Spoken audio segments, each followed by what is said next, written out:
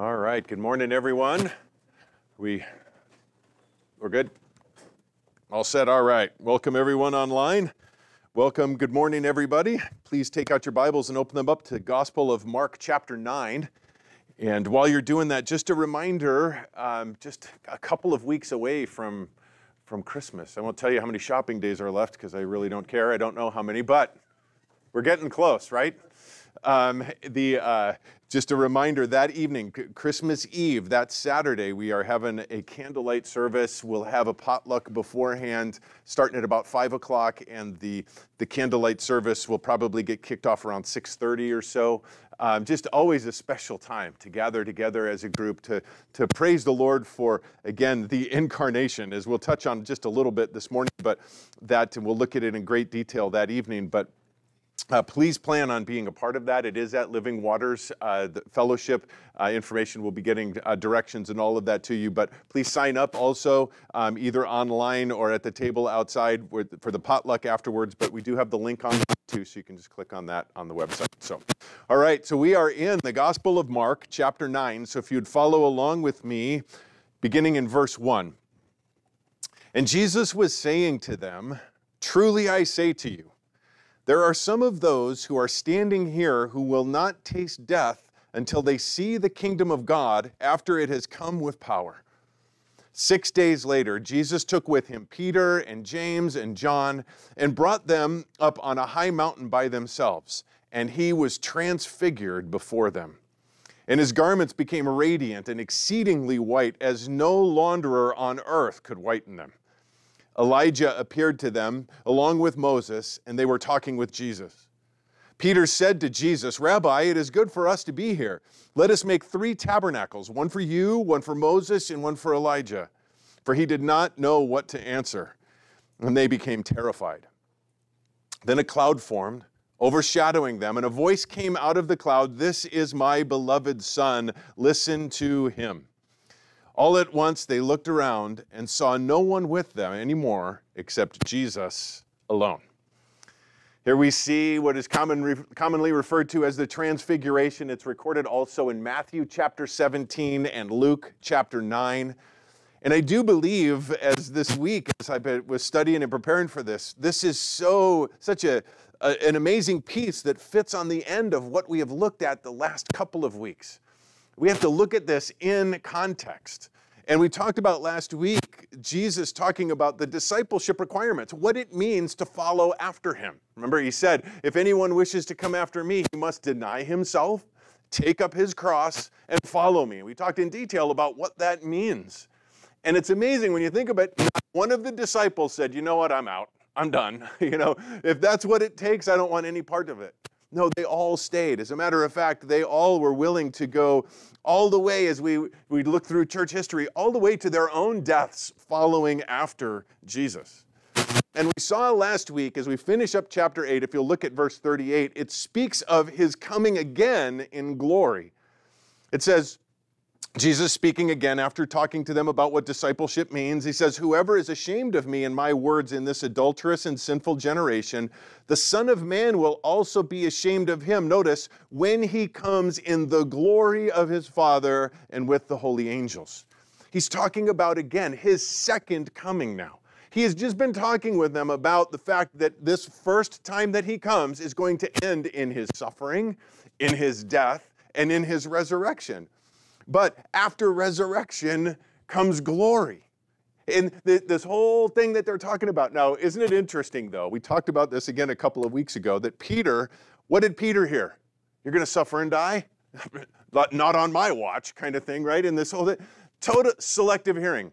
Wives, did any of your husbands have selective hearing? Eh, understand what that? We hear what we want to hear. We don't, or, or we hear the first part and block out the rest. I'm no, I know I'm guilty of that. Somebody's talking to me, I hear one thing, I focus in on that. They keep might be talking for another few minutes, I miss all the rest because I'm focused in on that one thing.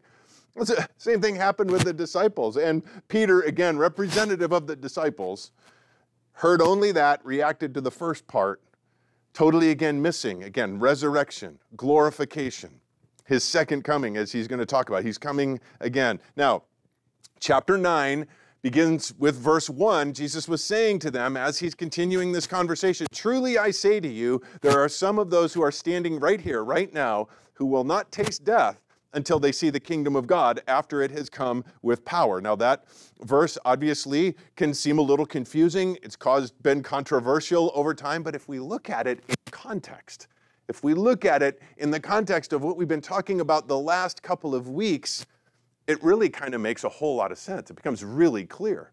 All three gospel accounts in Matthew, Mark, and Luke all have all of these events all together.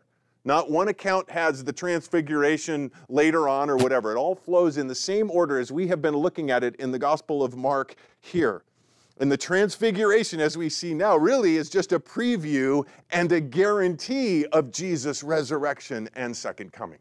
It's like a preview of coming attractions. It's a guarantee of what is going to take place, not just his death and his, his suffering and his death, but also his resurrection and his second coming in glory. If you'll remember back in chapter 1, verse 15, Jesus said, as he's at the, the outset of his ministry, the time is fulfilled. The kingdom of God is at hand. Repent and believe in the gospel. That's recorded very early on in the gospel that Jesus is saying that. Now, how could he say that the kingdom of God is ha- at hand? Well, because the king is here. Jesus, being the King of Kings and Lord of Lords, he is now here. And some in the group here, now, in where we are in chapter 9, some in this group will get a glimpse of the king in all of his glory. And as he will be forever. Now, it tells us that he takes them, he takes Peter, James, and John, these three, he takes them up on a high mountain. Now, we don't know which mountain. If it was important, he would have told us here in the scriptures, it would be recorded for us if it was important which mountain. It's interesting that even though there is no mountain here, there's a whole lot of effort to try to find out which mountain and which one it is. And there's even, um, I think it's on Mount Tabor, there's actually a shrine called the, the Mount of Transfiguration or the Shrine of Transfiguration or something like that, which quite honestly has very little chance of actually being the mountain. It's nowhere close to Caesarea Philippi, it's all the way down in the south, but somebody thought it was a good idea to put a shrine there and everything. A lot of people believe it's Mount Hermon and a lot of good arguments for that, but it's not important. and some of those things, it's interesting because I believe part of the reason why God doesn't tell us these things in here is because we have a tendency to worship those types of things. I mean, if, if we actually knew that it was the place where Jesus was transfigured, how many of you would make sure you went there or whatever it was, and it was that place, and it was that all of a sudden that became the focal point as opposed to what took place there? We have such a tendency to idolize those types of things. So it's not recorded for us here. He takes with him Peter, James, and John, and they experience the unexplainable, the unimaginable takes place in this picture, in this scene.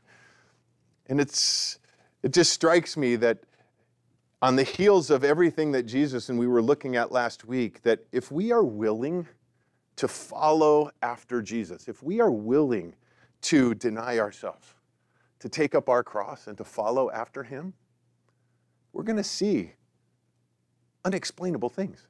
We are going to experience unimaginable things if we will simply be obedient. In Luke's account in this, in Luke chapter 9, verse 28, it tells us that he took them with them to go up to the mountain and to pray. And they're going up there, and you can only imagine again the conversation that's taking place, talking about discipleship, talking about following after him, maybe even asking specific questions. What, what, what specifically does that mean? It's not recorded for us, but you can only imagine the conversation that is taking place. And he takes again Peter, James, and John, the, the inner circle, if you would. These three, Peter, James, and John, were taken by Jesus to experience some things that others in the, in the, in the group of the 12 didn't. I mean, he was, they were present when Jairus, when Jesus raised Jairus' daughter from the dead. They were present in that.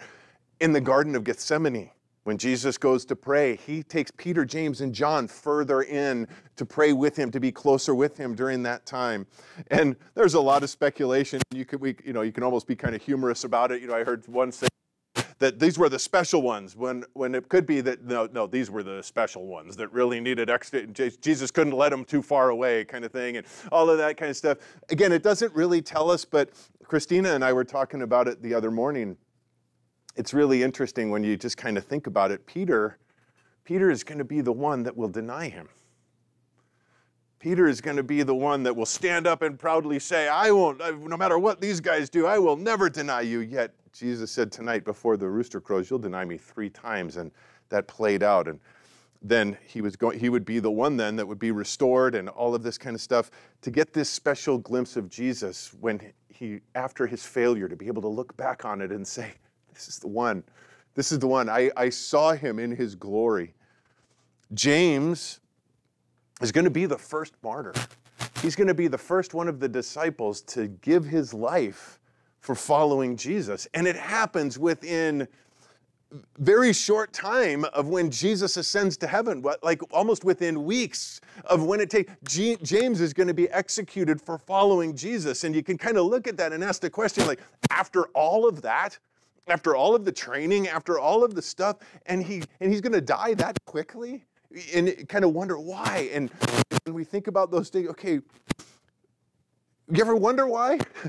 You ever questioned, Lord, I don't understand why this is all going on? It seems like there should have been a different end to all of this as, as we go through things in our life. But then to be able to look back and to be able to say, but He's the King. Experience that closeness with Him in this situation. And John John's going to be the one that outlives them all. James is his brother. He dies right away. John outlives them all. He's going to live to, to be in his 90s, more than likely. Uh, that don't know exactly how old he was at the time, but he's going to be the one that's alone on the island of Patmos. Years after all of the rest of the disciples have, have died, he's still alive.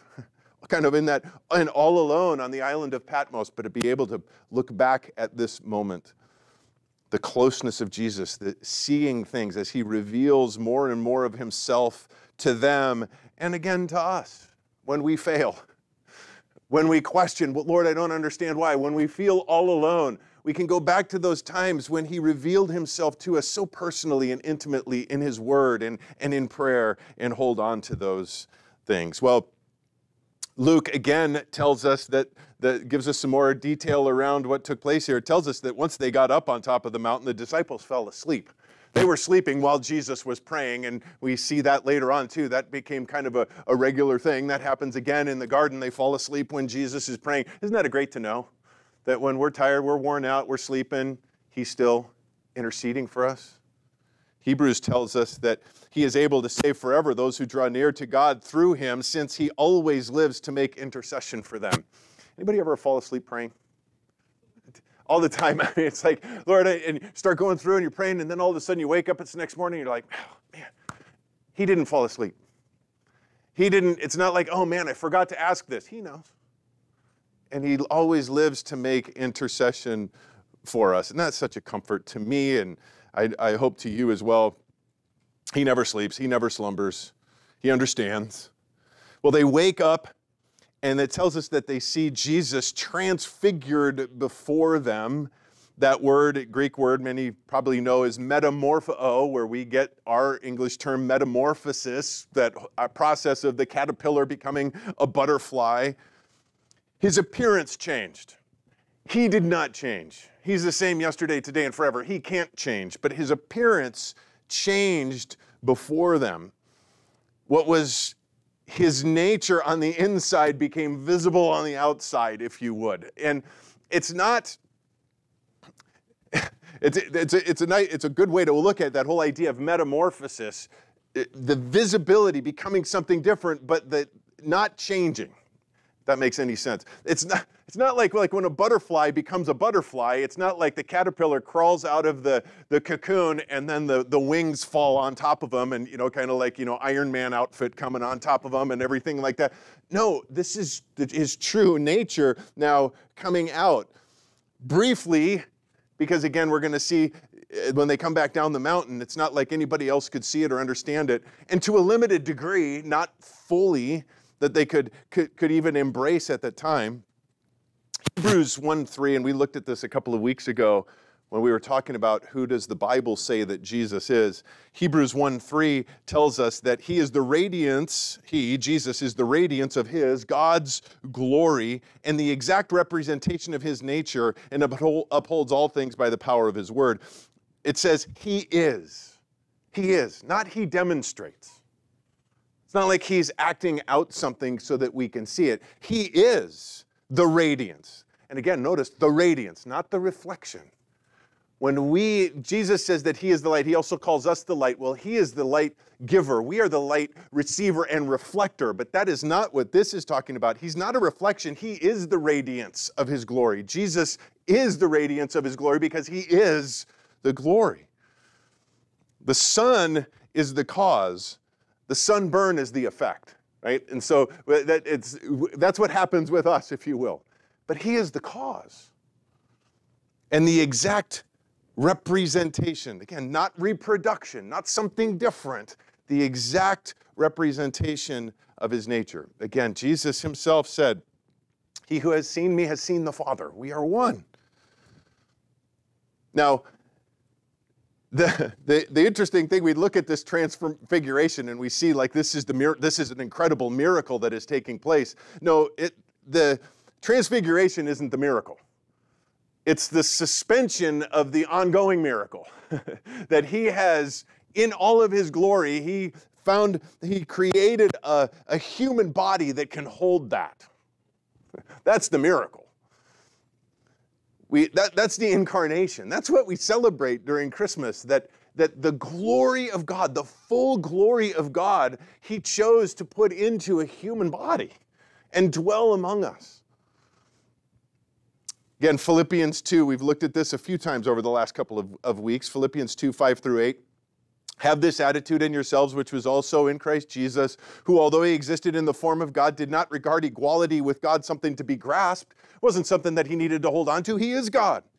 I don't feel like I need to hold on to Brett. I am Brett. so that he does it, he did not regard equality with God something to be grasped, but emptied himself, taking on the form of a bondservant, being made in the likeness of men being found in the appearance as a man, he humbled himself and became obedient to the point of death, even death on a cross. That he would, he would encase his glory in a human body and dwell among us. John says in his gospel, John, one that was here, in John 1:14, he says, We saw his glory. And again, in a, in, in a limited way, because in our with our bodies now we're going to talk about the fact that we're not going to have these forever but in our we we can't handle all of his glory right now we couldn't but we saw his glory. We saw a glimpse of it. Peter writes in 2 peter 1.16 for we did not follow cleverly devised tales when we made known to you the power and coming of our lord jesus christ but we were eyewitnesses of his majesty. We saw it with our own eyes. It tells us too, when they wake up, they see Jesus in this way, gives us a description of how he is radiating. But he also, it also says that Elijah appeared with them, verse 4, and also with Moses. So Elijah and Moses are there. And I find that interesting that they recognized them. They, they saw them and they knew, somehow they knew, that's Moses and that's Elijah. They, they didn't have you know, pictures. they didn't have any way that they, any point of reference other than they knew that that's Moses and that's Elijah. There was no introduction. Jesus didn't introduce. Doesn't, they weren't wearing name tags. They just knew that. And you wonder, have, have you ever, have you ever looked up to someone or, or heard someone on the radio or whatever, and you get a mental picture of what they look like, and then you actually see them, and you're like, no way, that's not them. There's no way that could be them because you have this mental picture. I wonder if that's kind of the case. They see they see Moses, right? They're like Moses. I thought he'd be taller. I, I, you know, I, whatever. And they, they look, but they recognize them, and that's that's an awesome thing to me, because this tells us that guys, we are going to live on forever in a recognizable state. We're, we're going to live on with, with us, with who we are, with, with our personality. Now, it's going to be perfected. Probably thinking, great, these people won't be so annoying, right? Now, the bigger thing is you won't be so judgmental, right? That's, that's the great part that I can't wait to get that lifted off of me. Be able to see everyone as God sees us but our personalities will still be there. I love that. Moses and Elijah. Moses, obviously, we know the one that through whom God brought the law, represents the law. 1,400 years prior to this moment was all of that was taking place, the Exodus and all of that that's recorded for us. And the crazy thing about it is that after everything that Moses went through, leading the people, right, out of Egypt and through all of the years in the wilderness and all of that, he wasn't allowed to go into the promised land. And the, the Bible tells us in, in, in Exodus as to why. I mean, he, God told him to do something. He acted in a way that didn't represent God as he should. And because he was the leader, God said, You're not going to be allowed to enter into the promised land. And I don't know about you, but reading through that every time as I've read through that, studied through that, talked through that, it's kind of like, seriously, man, that seems like a pretty harsh, harsh penalty for, for that. But again, understanding he is the representative and there's a higher expectation in, in that for that. But here we see, and this is awesome because guess where he is right now? He's in the promised land, right here with the promised one. And he's, he's talking with him. How, how awesome. I guarantee you, Moses took this trade. He said, if it was given to him as an option, he said, I'll take, I'll take that one for sure. You can, you can have going in there now. I'll t- I, I'd, I'd much rather do that. I don't think it was given to him as an option, but I'm just saying. Now, Elijah also looked at as considered by many as the greatest of the prophets 900 years prior to this event is when he when he lived and he was taken to heaven in the chariot of fire and here they are the one representing the law and the prophets with the one who fulfilled it all and they're talking with Jesus and Luke 9:31 again fills in some blanks that Mark leaves out in his account. Mark tells us what they were speaking about. It says they were speaking of his departure, which he was about to accomplish in Jerusalem. Interesting, that word departure is the word exodus setting the captives free as Moses, again, that picture that is there in Exodus, fulfilling this Old Testament type of bringing the people out of, out of slavery, out of bondage, into the promised land. And here we see the fulfillment now, Jesus, the fulfillment of that Old Testament type. 1 Peter chapter 1, beginning in verse 10, Peter writes, As to this salvation, the salvation that you and I have received as a free gift. He says, The prophets who prophesied of the grace that would come to you made careful searches and inquiries, seeking to seeking to know what person or time the Spirit of Christ within them was indicating as he predicted the sufferings of Christ and the glories to follow. So here we see Moses, Elijah, in their time when they were living, didn't understand it all what was coming. They knew and they understood that there would be this one that would come that would suffer that would die that you know all of that. But it says made careful searches trying to figure that out but it was withheld from them then. But now we see and can you only imagine moses and elijah being here now with with jesus on top of the mountain talking with him about his departure. I don't believe they were filling jesus in. Jesus was filling them in. He was explaining to them. And again what an amazing thing taking place here. And Peter, James, and John witnessing it all. They woke up from their, their sleep and this is going on and they're seeing this. Can you imagine? It would just leave you speechless, you'd think. Verse 5 Peter said to Jesus, Rabbi, it is good for us to be here. Let us make three tabernacles one for you, one for Moses, one for Elijah. Notice verse 6 For he did not know what to answer for they became terrified. And now you can, many believe that Mark was got, got his information because he was not an eyewitness to, to, to all of this in the gospel. We've talked to this before. Most people believe, a lot of scholars believe, that Mark's source for his gospel information came from Peter. So can you imagine the conversation? Peter's telling him what took place. And Mark has to stop and go, You said what? Seriously, you, you said that, really? Verse 6, he didn't know what to say. Good thing, always, you know this, you've heard it before. If you don't, if, if you don't know what to say, don't say anything. I heard it again this week. I hadn't heard it in a while. I love, I love this. And I need to make this more of a, a thing with me. If you can't improve on silence, don't try. So often, so often silence is that moment where you think, I gotta say something. I gotta say something. I, I'm guilty of that. If it's silent for more than 20 seconds, I feel like I gotta fill the space with noise. I I just because here, again, you can only you can only imagine this conversation going on, and here Peter interrupts. Man, it's good for us to be here. hey, let's, I got a great idea. Let's build these th- three tabernacles one for you, one for Moses, one for Elijah. And again, here's my mind working in this as I have my little picture Moses and Elijah looking at Jesus, kind of going, you know, Where'd you get this guy? But I can only imagine because I've had this conversation with the Lord many times. And he looks at me and he says, Remember when you did this and you said that? Yeah. We're so quick, right? We're so easy to, to jump and, and point fingers or to be judgmental about something. And yet, so often, if we just take a moment and think, man, where God took me from. And even since then, how many times I've stuck my foot in my mouth, or how many times I've done something that, you know, I look back on and say, man, why did, why did I feel I needed to do that? It's only by the grace of God that we can do anything that, that brings any type of glory to Him. It's only by His grace that we aren't just a, a total mess everywhere.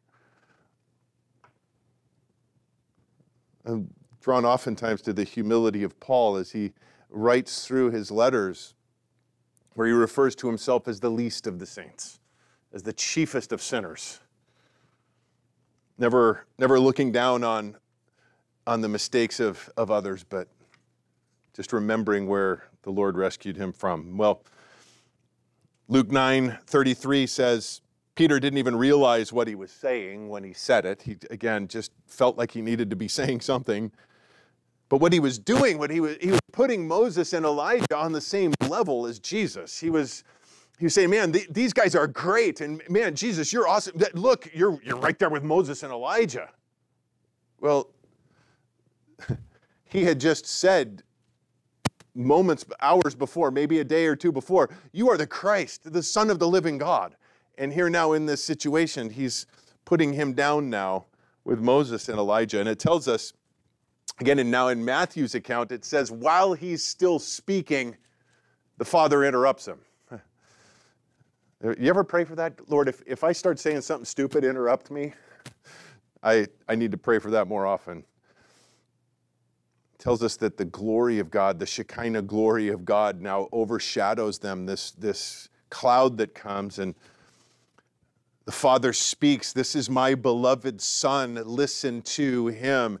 Again, this is Moses and Elijah now are disappear from the picture. This is my beloved son. In that the, the way that it's written there in the, in, the, in, the, in the original language is be listening to him. It's not just listen, be listening, continually listen to him. What does he have to say? Because again, we, it's, it's so easy to do, right? Put yourself again in their, in their sandals. This is Moses and Elijah for crying out loud. My whole life we've been listening to them, we've been reading them, we've been studying them, we've been all of this stuff. There they are. But they all pointed to Jesus. It's all Him.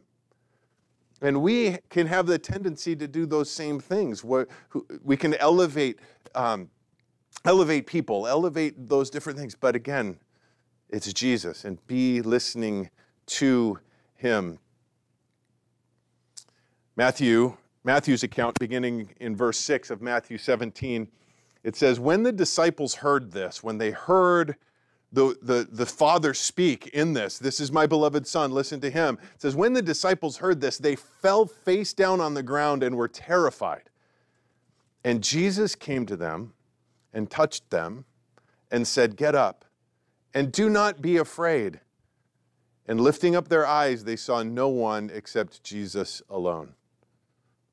Again, just to put yourself in the story here. It, they're, they, they're seeing this. They now, that's awesome enough as it is. But then all of a sudden, the Shekinah glory of God comes down in a cloud, and fa- the Father speaks from heaven, This is my beloved Son. Be listening to him. They just fall flat down on their face, totally terrified. Paul, when he came face to face with, with Jesus, in Acts 22, he's recounting it, had, had a similar reaction. And it says, to, he says, What do you want from me? That's after the, you know, where he says, Why are you persecuting me? You know, Jesus said that to him, and he goes, What is it that you want from me? Isaiah 6, when he sees, sees the glory of God, you know, here am I, send me. Would you turn with me to the book of Revelation, chapter 1? Revelation chapter 1. Now, this the, the revelation of Jesus Christ and recorded for us by John, again, one of the eyewitnesses to the transfigure that, transfiguration that we're looking at here. In Revelation chapter 1, beginning in verse 12, John is uh, exiled on, on Patmos, alone there. And he hears a voice, and it says, When I turned to see the voice that was speaking with me, and having turned, I saw seven golden lampstands, verse 12, verse 13. And in the middle of the lampstands, I saw one like the Son of Man, clothed in a robe, reaching to the feet and girded across the chest with a golden sash. His head and his hair were white like white wool, like snow, and his eyes were like a flame of fire. His feet were like burnished bronze when it had been made to glow in a furnace, and his voice was like the sound of many waters. In his right hand he held seven stars, and out of his mouth came a sharp two edged sword, and his face was like the sun, shining in all of its strength. Verse 17 When I saw him, I fell at his feet like a dead man. And he placed his right hand on me, saying, Do not be afraid.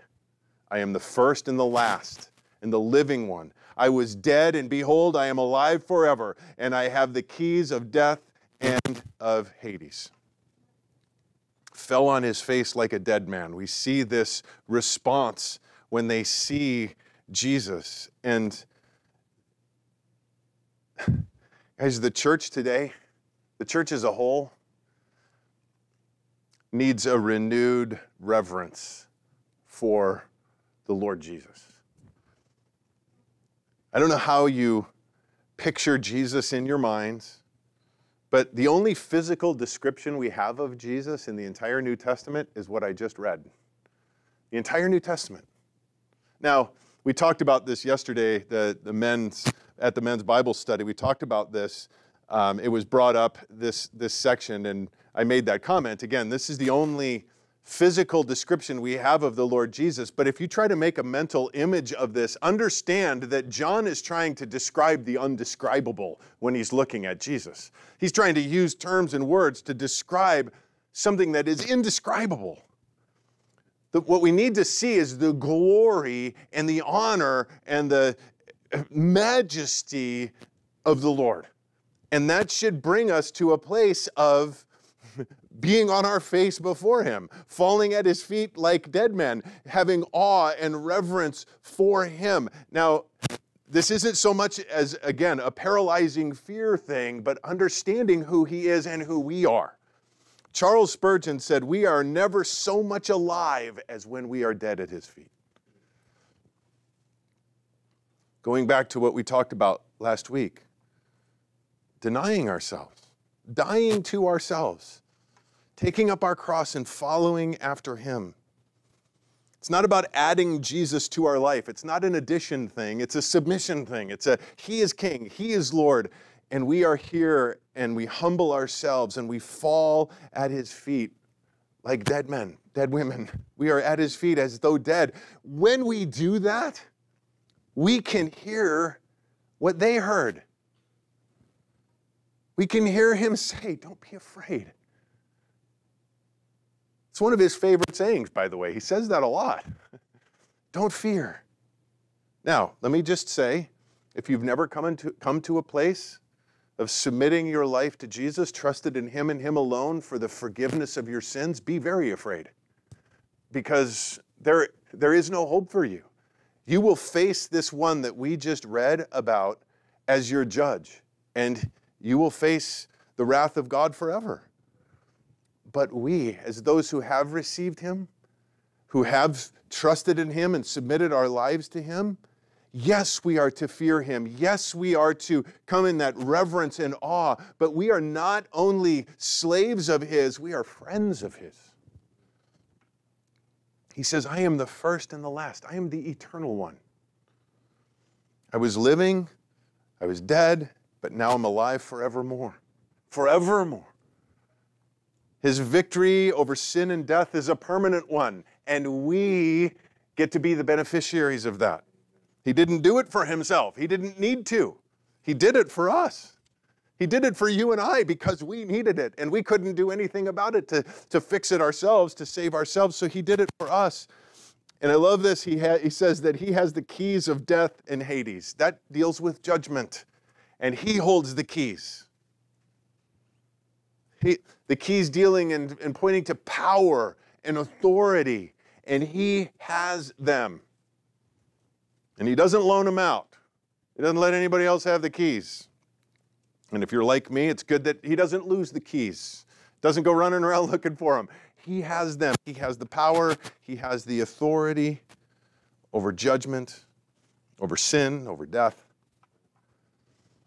So, as I mentioned, this week it's been kind of kind of neat. Starting on Monday as I started to read through this and started to again look back in the context and then reading starting in verse 27 all the way through the transfiguration and doing that a few times we kind of see this flow of everything and kind of a summary of these last few weeks understanding jesus said his path the path for jesus the, the messiah that came his path was suffering and death then resurrection then glory that was his path and then he calls us as disciples. He says, If you wish to come after me, this is your path. Deny yourself, take up your cross, follow me. Then sanctification, and then glorification. And again, that whole selective hearing kicks in, right? Because we're stuck on denying myself, huh? We get, what does that mean? Oh, really? I got to get, I got to do, I got, and miss the whole part of the sanctification and glorification. Because the cool thing about the promises that we have in the scriptures, and these are promises for us as believers, that cross bearers are glory receivers. The cross isn't the goal, it's the path to the goal. When we take up our cross and we follow after Him, glory is where we go. Romans 8 lays that out very clearly, is that this is how this works. And it is, it is in, in those two stages, that sanctification and glorification. Understanding, we do this often, justification is a moment in time. When you are born again, that is a moment in time. That's not a process, that is a moment. When you move from that death as your eternal destiny to life eternal that is yours, it's a free gift and you simply receive the free gift. You are born again in that moment. That is called justification. It's just as if I'd never sinned. All of my sin went onto Jesus' account, and I receive his righteousness in exchange. But then comes sanctification, that moment from being born again until that moment when we stand in his presence in glory. And that is a process. And that is a growing continually more and more into his image, becoming more and more like him. And Romans 12, chapter 12, verses 1 and 2 says, Therefore I urge you, brethren, by the mercies of God, to present your bodies a living and holy sacrifice acceptable to God, which is your spiritual source of worship. And do not be conformed to this world, but be transformed by the renewing of your mind, so that you may prove what it, the will of God is, that which is good and acceptable and perfect. That word, be transformed, is that Greek word metamorpho be transformed. The process, what He began in us, that work that He is doing in us, let that start coming out. That process of being transformed. 2 Corinthians 3:18. But we all, with unveiled face, beholding as in a mirror the glory of the Lord, are being transformed. Again, that word, metamorpho, being transformed into the same image from glory to glory, just as from the Lord the Spirit. This process that we're going through. And it's a glorious process. It's painful at times, it's a struggle at times. It never, he never said it was going to be easy. It's work, yes. The way is hard, but the other side is glorious. It's beyond comparison.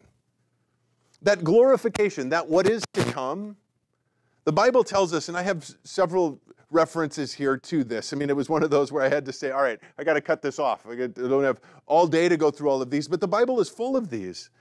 1 Corinthians 4 17 and 18. For momentary light affliction is producing for us an eternal weight of glory far beyond all comparison. Now, Paul is not mocking what we go through when he says it's momentary light affliction. He's not, he's not saying, oh, get over yourself. He's not saying that. Paul suffered greatly in his, in his body. The point is, in comparison to what is to come, first of all, it's momentary. That's eternal. And then he says it's light. well, compared to what that is, the affliction that we go through is light affliction compared to the glory, as he says, that is beyond comparison. He says, While we look not at the things which are seen, but the things which are not seen. For the things that are seen are temporal, but the things which are not seen are eternal. Romans 8:18 For I consider that the suffering of this present time is not worthy to be compared to the glory that is to be revealed to us. Not you can't even put them on the same scale. It's so far beyond. Hebrews 12, 1 through 3. Therefore, since we have so great a cloud of witnesses surrounding us, let us also lay aside every encumbrance and the sin which so easily entangles us, and let us run with endurance the race that is set before us, fixing our eyes on Jesus, the author and perfecter of faith, who for the joy set before him endured the cross, despising the shame, and has sat down at the right hand of the throne of God. And then it says this, verse 3 for we consider him, Jesus, who endured such hostility by sinners against himself, so that we will not grow weary and lose heart. You ever feel like that? I just want to give up. I just, you know, and you start complaining to the Lord. It says, remember what he did. I got a picture. Isaiah, can you put that up for me real quick? I saw this on a, on a meme this week. I thought this is so great. Whenever you start complaining again, this picture right here. Lord, my life is just, it's just not so hard. I just, I, and he's just sitting there, yeah, okay, tell me about it. After all that he went through, this everything that he went through, think of that and remember that when we grow weary and want to lose heart. 2 Timothy 4 7 8. I have fought the good fight. Paul says this at the end of his life. I've fought the good fight. I've finished the course. I've kept the faith. In the future, there is laid up for me a crown of righteousness, which the Lord, the righteous judge, will award me on that day. And not only to me, but all to all who have loved his appearing. That is what is waiting for us on the other side of it all. Again, as I mentioned, this transfiguration, it's like a, it's like a preview of coming attractions.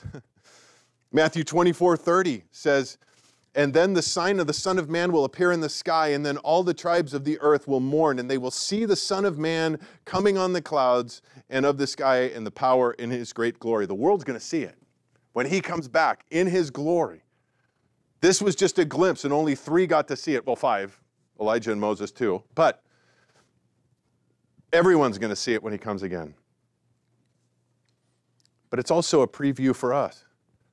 Because John, right, 1 John 3 2, Beloved, now we are children of God, and it has not appeared as yet what we will be. We know that when he appears, we will be like him, because we will see him just as he is. We're going to be fully transformed in that moment. We're going to be, we're going to, we're going to get new bodies. We're going to get glorified bodies. And in those glorified bodies, we will be able to behold him in all of his glory. What an amazing, amazing thing. Yes, we are called to do hard things. Yes, the way is hard that is laid before us, but it is nothing. It is nothing compared to the glory that lay ahead of us. And that glory is only possible again because of what he did for us. And that's this morning, we're going to celebrate communion and we're going to remember that together as we as we do. So, um, as the worship team comes up, um, we'll distribute the elements. There's the, the bread and the and the juice that's there, and then we once uh, once it's all distributed and the song is complete, we'll celebrate communion together. Let's pray. Lord, we we do thank you. We thank you for the amazing gift that you've given to each one of us. That though we are so undeserving Your love for us was displayed in that while we were yet sinners, you died for us. That you took the entire weight, debt, penalty that was due us because of our sin, because of our rebellion. Jesus, you chose to take completely that upon yourself so that you, in exchange, would give us your righteousness. This glimpse that we see in the text today of your glory Lord, one day we will be able to behold that in your presence. And it's not because of anything we've earned, but simply because of the gift you've given us. Lord, help us to understand that what you call us to do is not burdensome, to follow after you, to deny ourselves, to take up our cross. Lord, there is joy in that. And even the suffering, even the difficulty is nothing compared to the glory to come. We thank you. We praise you. In Jesus' name, amen.